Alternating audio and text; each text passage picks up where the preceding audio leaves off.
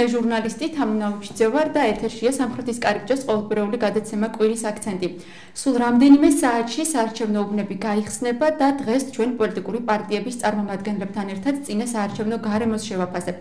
ჩვენი გადაცემის სტუმრები არიან ქართული ოცნების მაჟორიტარობის კანდიდატი ფერსის მაჟორიტარულ ოლქში ნოდარ ტალახაძე, ევროპული საქართველოს მაჟორიტარობის კანდიდატი წლის კლდის თემში ზურაბ სადათიერაშვილი და ნაციონალური მოძრაობის მაჟორიტარობის კანდიდატი დავით ახალკაცი ვალის მაჟორიტარულ ოლქში. მოგესალმებით ბატონებო.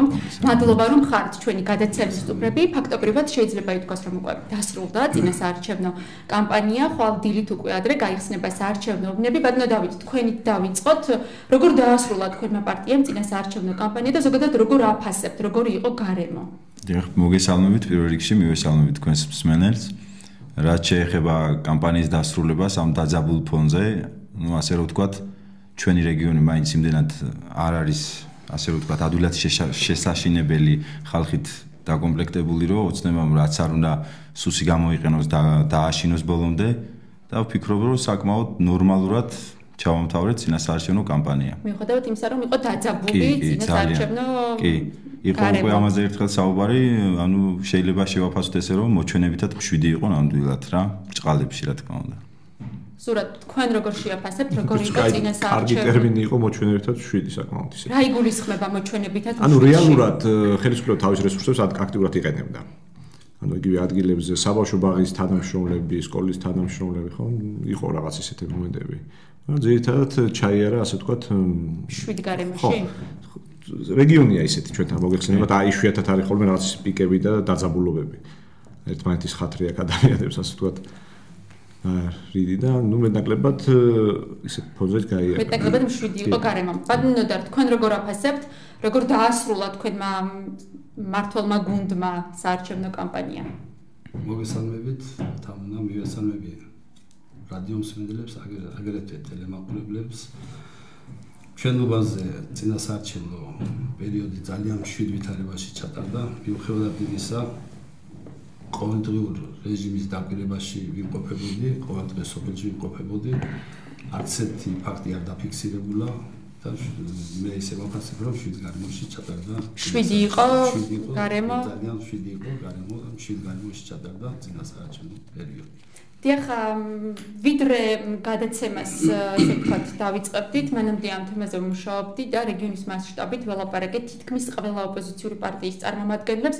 ძირითადი აქცენტი, რაზეც ოპოზიციური პარტიის წარმომადგენლები, აქცენტი, რასაც აკეთებენ ოპოზიციური პარტიების წარმომადგენლები, ეს არის ადმინისტრაციული რესურსის არნახული გამოყენება. ამაზე საუბრობს ნაციონალური მოძრაობა, ევროპული საქართველოს სხვა ოპოზიციური პარტიებიც. იქნებ უფრო კონკრეტულად გითხრათ, რა იგულისხმება ადმინისტრაციული რესურსის გამო გამოყენებაში, რასაც აპელირებს თქვენი პარტია. კი ბატონო, კი ბატონო, მოგახსენებთ, ანუ ადმინისტრაციულ რესურსში, ეხლა ყველასთვის ეს მოულოდნელი და უცნობი არავის არ არის, რომ სკოლის მასწავლებლები, ბაღის პედაგოგები, აღზრდელები არიან ჩართული, არიან საარჩევნო უბნებზე ჩასმული კომისიის თავმჯდომარეებად, ესეთ სოფლებში მაგალითად საზელში, ნაოხრებში, სხვილში და ასე შემდეგ რა, სადღაც დაკომპლექტებულია თითქმის ფლიანად კომისიის წევრები. პედაგოგებით, როგორც საბავშვო ბაღის, ასევე სასწავლო ნაწილის სკოლის პედაგოგებით. დიახ.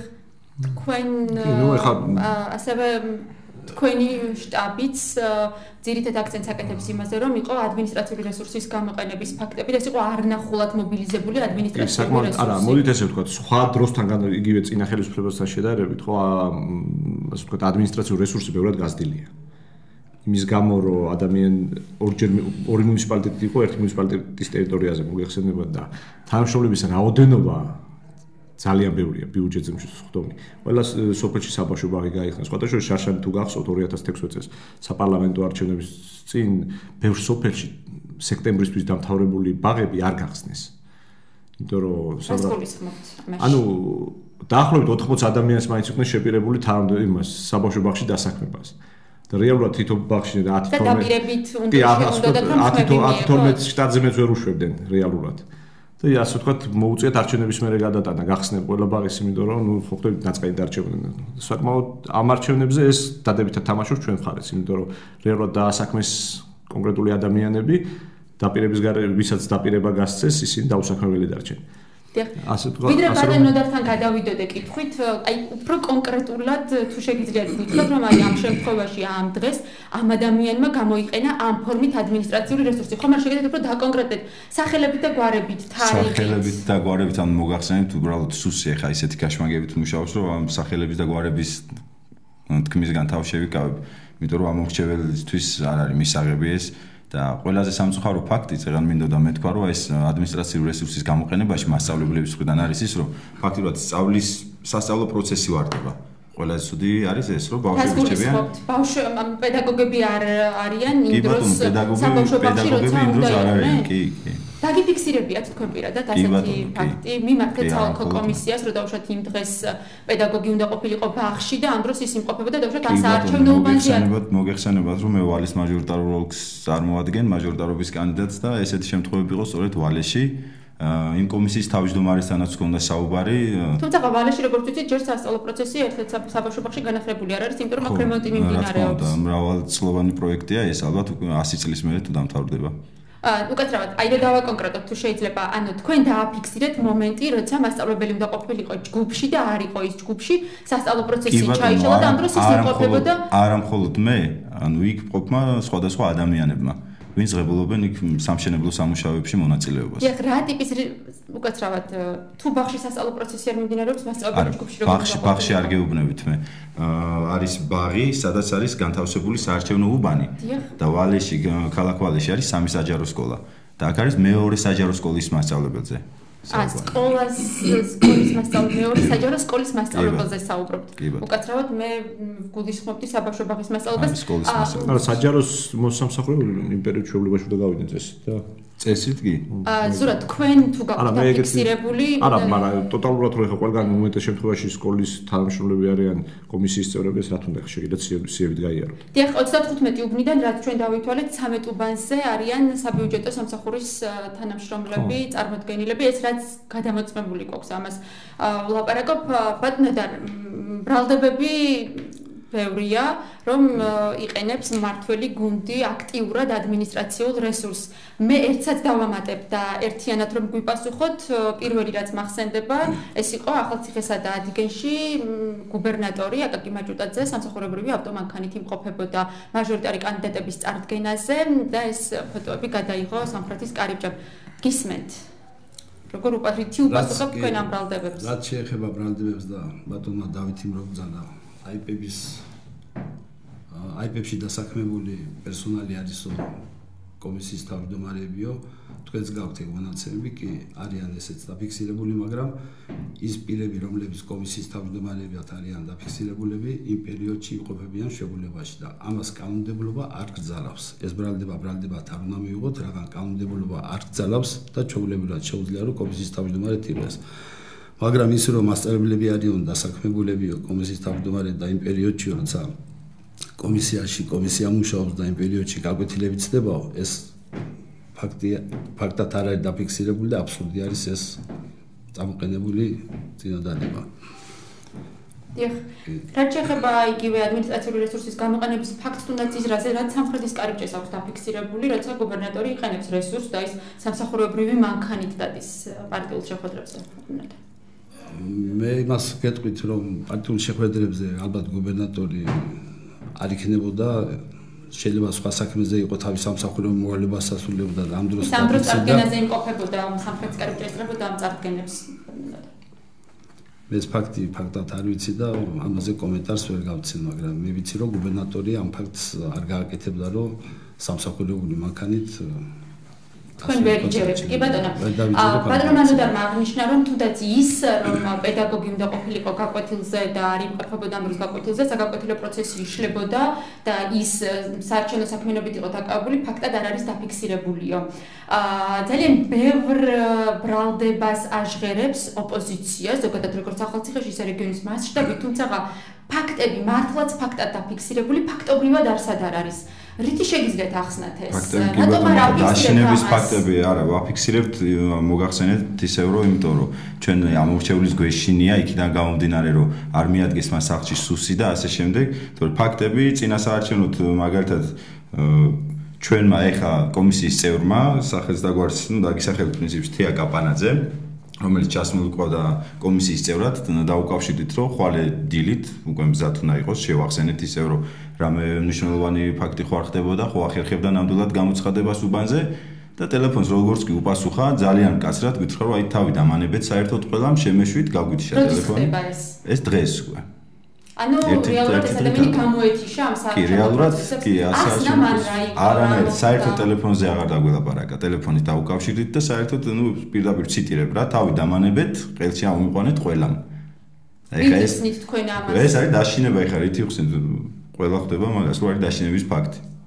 დიახ, იგივე შეკითხვა მაქვს თქვენთან ზურა, ბრალდებები უბრალოდ როგორც ქართულ ოცნებაში მithres ჰაერზე ლაპარაკი ძალიან მარტივია, მაგრამ რატომაც არ არის მაგალითად ახალციხის საოლქო კომისიაში ბოლოს რამდენიმე დღის წინ თვალწოდები ორი დღის წინ მოვიკითხეთ და არის საჩივარს გულისხმობთ ამ შემთხვევაში.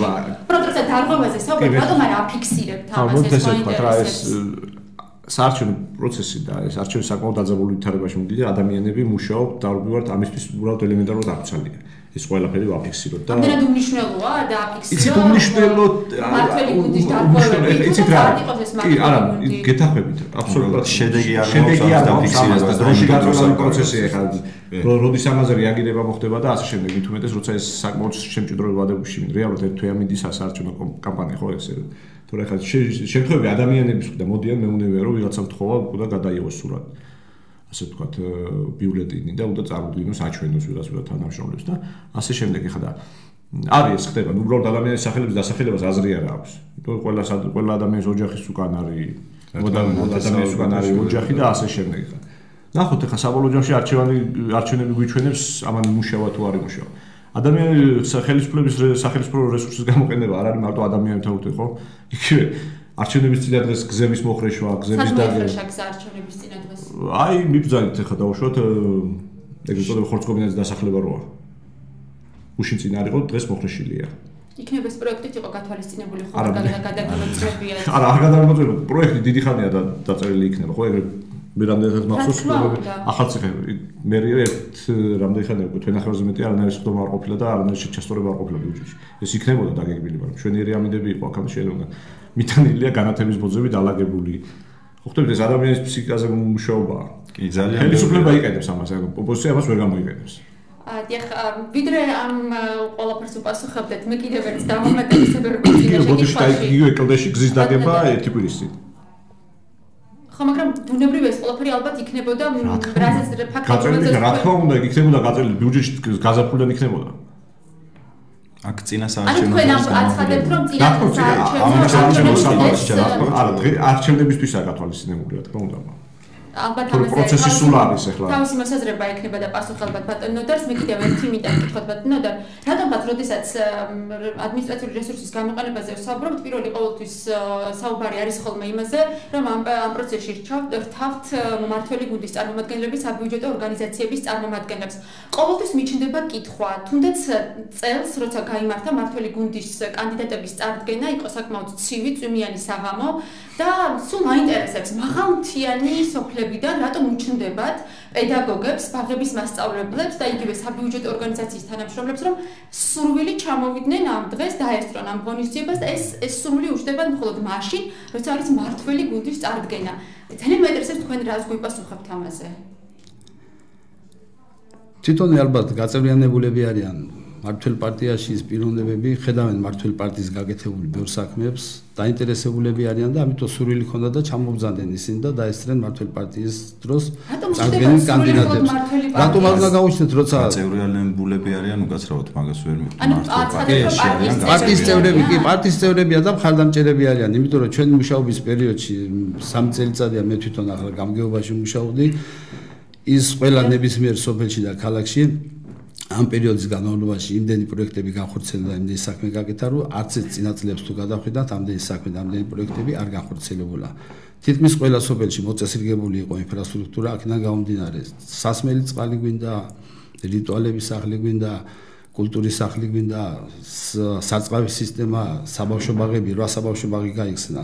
ამასთან მიმართებაში ხალხი ხედავს ამბლად რომ მართლი პარტია მართლა მუშაობს, მართლა აკეთებს იმ საქმეს და ყველას გაუჩნდება ეს ის ამ ადამიანებს გაკეთებული საქმიდან გამომდინარე გაკეთებული საქმიდან კი კი გუნდის აუცილ- აუცილებლად, წარდგენას, კი. თუნდაც წვიმიან საღამოს მაგათვან თვითონ ხომ არ იცოდე რომ წინა წვიმიანი საღამო წვიმიანი საღამო დაიწყო იმ ნახევარი საათითაზე მანამ დილიდან მანამდე საკმაოდ წვიმდა. საკმაოდ ცივი დღე ახლა არ ყოფილა. ზუსტად მახსოვს გამიდა წვიმდა ანუ გამთენისას დაიწყო არა რა გამთენიса კი. წინა გამის დაიწყო ასფალტი გებოდა ერთ გამნახე დიახ, და რაც შეეხება აი ზურა აკეთებდა აქცენტს წინა საარჩევნოდ დაგეგმილი პროექტების შესახებ, მან ახსენა კლდეში გზის დაგების საკითხი და ასევე ყოფილი ხორცკობინატის მიმდებარე ეგ ყველაფერი პროექტით გათვალისწინებული არის ალბათ, იმიტომ რომ ჩვენთანაც მაგალითად სოფელში ახლა მუგარიჩი იგება ასფალტი, მაგრამ პროექტით გათვალისწინებული იყო, გეგმაში ჩასმული იყო, ტენდერზე გამოცხადებული იყო, მე ტენდერემ გაიმარჯვა და იმ ვადებში რომ ჩაიტიოს, ჩეულებრივად კეთდებოდა საქმე და ახლა თუ ვინმე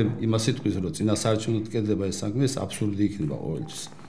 დიახ, რაც შეეხება ზეწოლების საკითხს, რეგიონის მასშტაბით საკმაოდ ბევრმა ადამიანმა მოიხსნა კანდიდატურა, გამონაკლისი იყო მხოლოდ მმართველი გუნდის, როგორც მერობის, ასევე მაჟორიტარობის კანდიდატები. არც ერთ ქართული ოცნების, არც მაჟორიტარობის არც მერობის კანდიდატს, ესე ვთქვათ, მოხსნასთან დაკავშირებით, კანდიდატურის მოხსნასთან დაკავშირებით განაცხადი არ გაუკეთებია. ესენი იყვნენ მხოლოდ ოპოზიციური პარტიების წარმომადგენლები, მათ შორის იყვნენ როგორც რეგიონის მასშტაბით ნაციონალური მოძრაობის, ასევე ევროპული საქართველოს წარმომადგენლები. მათი დიდი ნაწილი საუბრობდა ზეწოლაზე. საინტერესოა ზეწოლებთან დაკავშირებით ჟღერდებოდა ასევე ბრალდებები, რომ კომისიის წევრებზეც ახდენდნენ მმართველი გუნდის წარმომადგენლები გავლენას და გაუჭირდათ ოპოზიციურ პარტიებს კომისიების დაკომპლექტება. აი ამ საკითხებთან დაკავშირებით მინდა მოვისმინოთ თქვენი კონკრეტული ესე ვთქვათ ფაქტები და кейსები. კი ბატონო, მოგახსენებთ, აი ზემოთ თქვი აღნიშნე მე, რომ ჩვენი ერთ-ერთი კომისიის წევრი თია კაპანაძე, რომელსაც დღეს დაუკავშირდით, დიახ. სწორედ დღეს განგვიცხადა ძალიან ცივი უარი. საერთოდ ფაქტიურად არ დაგველაპარაკა ტელეფონზე. ანუ არც მიზეზი აუხსნია, რომ რაღაცა მაგალითად ფიზიკური მდგომარეობის გამო ვერ ახერხებდა ან ჯანმრთელობის გავარესების მიზნით ვერ ახერხებდა. სხვა ადამიანები, რომლებმაც უარი თქვენს სხვა- კომისიის კი, სახელი და მაჟორიტარ მასე- კანდიდატად დასახელებაზე თქვენი პარტიიდან. კი ბატონო, მასე კონკრეტული გვარი და სახელები არ მახსოვს, იმიტომ რომ ძალიან ხშირად იყო ეს ფაქტი.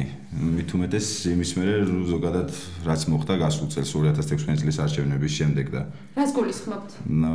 აქ ევროპული საქართველოს პარტიად ჩამოყალიბებას გულისხმობ მე. ნუ ამან ხელი შეუშალა გარკვეულპირად, გარკვეულწილად ამ ფაქტებს. რა უკაცრავად, ანუ მოსახლეობა დააბნია ამ ფაქტმა, რომ კი, კი, და რომელი და სამწუხაროა, რომ სამწუხაროა, რომ მე ადრეც ვახსენე ბატონ გელა დემეტრაძესთან ერთად ვიყავი დებატებში. უბრალოდ დებატები არ გამოგვივიდა, რადგან მართველი გუნდის წარმომადგენელი არ იყო და იქაც თქვი, რომ აქვს ადგილი ფაქტებს, როდესაც სამწუხაროდ ევროპული საქართველოს მხარდამჭერები ხალხს ეუბნებიან შეყავთ შეცდომაში, რომ თითქოს ნაციონალური მოძრაობა და ევროპული საქართველო არის ერთი, ეს რაღაცა წინასაარჩევნო ამ დადგმული შემთხვევაში სცენარია და ასე შემდეგ. არ შეუშლია. სწორად გავიგე? პირიქით შეუშლია ზუსტად ეხლა ეს თია კაპანაძე რაზეც ვიზეს გიყვებით მე მართველი გუნდის ჩარევის შედეგად მოხდა ამაში დარწმუნებულები ვართ ზეწოლებთან დაკავშირებით, თუ შეიძლება რომ აი თქვენ პირადად ჩემზე ზეწოლა არ ყოფილა, არც ჩემ კომისიის წევრზე ზეწოლა არ ყოფილა, ხა კონ- კონკრეტულად მის უნდა. იცით როგორ სიტუაცია ეხლა მართალიხად მე არც ვიცი სხვა გარაშ შემთხვევა. კონკრეტულად ადამიანები თვითონ მე არ მიმუშავია სხვა კომისიის წევრებთან. შეიძლება ეგ შტაბში უფრო უკეთესად ცოდნოდეთ, იმიტომ რომ კონკრეტულ უბაზე სადაც მე ვარ, იქ არ ქონია პრობლემა ამასთან დაკავშირებით. ჩემთან მართალი გითხრათ პრინციპში 2013 წლიდან ვარ ჩართული ჩემზე პირადად მსგავსი ტიპის ზეწოლა პირადად ჩემზე არ ყოფილა. ყოფილა ჩემ ჩემ თანაგუნდელებზე თუ ყოფილა მიმდინარე წინასაარჩევნო კამპანიის პერიოდში. იდენა ჩართული კონკრეტულად რა რა იყო მე არ ვიცი ვერ თქვა რომ იყო ჩემთან არასორი იქნება ის რაც არ მინახავს და არ ვიცი ხო მაგრამ აა სავალ არ ვიცი რა რას ვერ გეტყვით ახლა ამ შემთხვევაში დიახ, ვიდრე ბატონო და ვკითხავდეთ, მე მინდა პირველი ხო ზეწოლის ეს ერთი ევროპულ საქართველოსთან დაკავშირებით მინდა ერთი კომენტარი გავაკეთო. მართალი გითხრათ აი ეს ერთი თვია ინტენსიურად დავთვალე იმის მტკიცება მიწევს რომ ნაციონალი არა ვარ და ვარ ევროპული საქართველო იმიტომ ესეც კიდე ცალკე თემაა ადამიანებს გვინდა რომ ეს სწორედ შეიტანა ამ რჩევაში, ამ ამ ორი აზრი პარტიის გაყოფა. რა თქმა უნდა მაგრამ არის ელექტორატი პლუს ამას ამადგან გამოქცეული დიდი დიდი რაოდენობა ადამიანებს ვისაც ოცნება არ უნდა და არც უნდა ნაციონალური მოძრაობა ძალიან ბევრი ჩვენს კენოდის ძალიან ბევრი. დიახ, ზეწოლის ფაქტთან დაკავშირებით პირველი რაც იყო საარჩევნო პერიოდის დაწყებისას, ეს იყო, როდესაც ურაველში მოხდა ინციდენტი, ბატონო და ალბათ გემახსოვრებათ თქვენ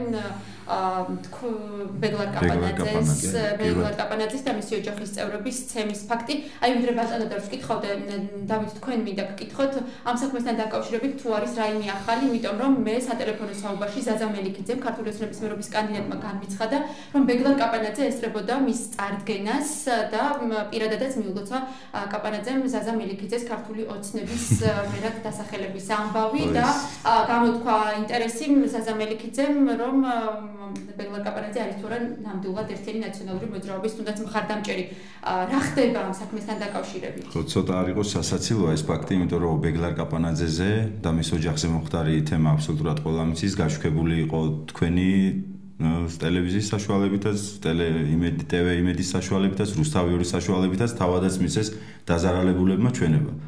და დღესაც ვიცით რომ ეს პიროვნება ჩვენი აქტიური მხარდამჭერია და ეხლა ბატონი ზამელიქიძე რა არგუმენტები აქვს და რა რა სასაბუთებს ვერ ხვდები. მე ვიძახი იმას სრული პასუხისგებლობით, რომ ეს პიროვნება დღესაც არის ნაციონალური მოძრაობის აქტიური მხარდამჭერი. დიახ, მადლობა. ბატონო და ზეწოლებთან დაკავშირებით იგივე კომისიის წევრების დაშინება, მაჟორიტარი კანდიდატების დაშინება, რა სიტყვით თქვენ ამასთან დაკავშირებით თუ მოვიდა თქვენთან რომელიმე ოპოზიციური გულისხმობ შეიძლება პირადად თქვენთან არა, მაგრამ თქვენს მართლ გუნდში, ან თუ გქონდათ საუბარი რომელიმე ოპოზიციური პარტიის წარმომადგენელთან ამ ფაქტებთან დაკავშირებით? ამ ფაქტებთან დაკავშირებით არავინ არ მოსულა და არავის არ მოუმართია ჩვენთვის და მე ჩემ უბანზე მაგალითად არ დაფიქსირებულა ეგეთი ფაქტები.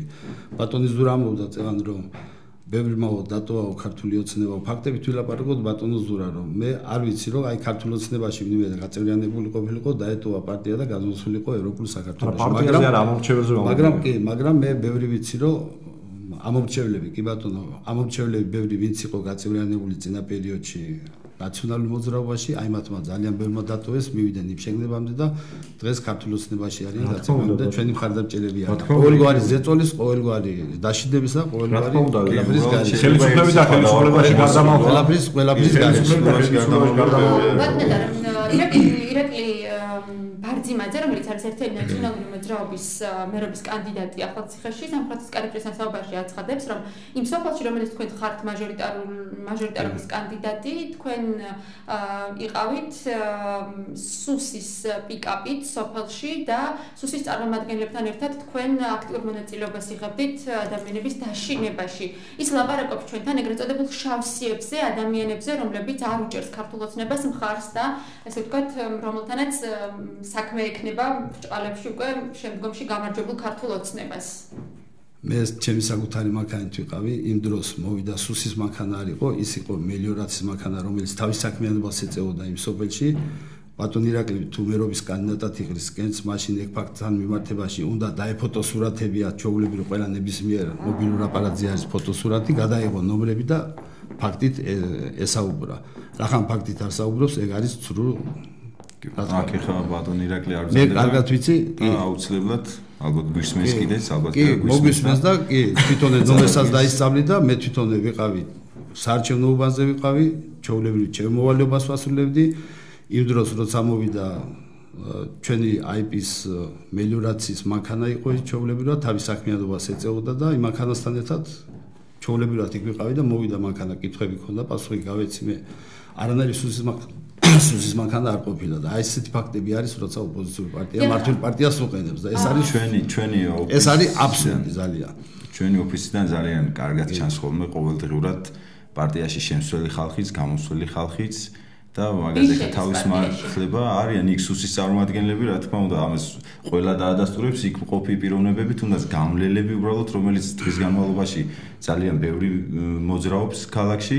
და ასე რომ ესეთი თავის მართლება ასე აქტიურად მოსაფრთხოების სამსახურს წინასაარჩევნო კამპანიის წარმოების პროცესში მართველი აი ბატონი დავითი ხშირად ახსენებს სუსის თანამშრომლებს. მე მაგალითად ჩემს საარჩევნო უბანზე თითქმის თქვენ ახევარია დავდივარ მე არც ერთი პოლიციელი და არც ერთი სუსის თანამშრომელი მე არ შემინიშნია და მაინც და მაინც მე მიგვიძ რომ რატო დადის პალეში სუსის თანამშრომელი. არა არა არა მხოლოდ ვალეში აქ ანუ ფაქტები აი ჩემ უბანზეც ხო უნდა იყოს მაინც ერთი ფაქტი უნდა იყოს. მე გულწრფელად ვამოფ ამას რომ არც ერთი პოლიციის თანამშრომელი და არც სუსის პარტიის თანამშრომელი მე ჩემ ხარ- საჩევრობაზე არადროს არადროს არ მინახია და ანუ რეალურად რო ვთქვათ, ეხა ბატონი ნუდარი იმას არ დაადასტურებს, რომ ნუ სუსი რა თქმა უნდა ჩართულია, ხო, ეხა ამ კითხვის მაგ შემთხვევაში მე მიკვის თუ სუსის თანამშრომლები დადის და ხალხს აშინებს ერთი ფაქტიც ხო უნდა წარმოადგინოს ოპოზიციურ პარტიამ ამ ფოტოსურათით ან რაღაცა ფაქტით ან საარჩევნო ოლქს მიმართონ მასთან მიმართ საჩვენით მიმართონ. ასეთი ფაქტი არის დაფიქსირებული. როცა არ არის დაფიქსირებული მე მგონი რომ აქ ზედმეტია ლაპარაკი ამაზე და არც უნდა ილაპარაკოს ოლქისთვის მიმართული გვაქვს.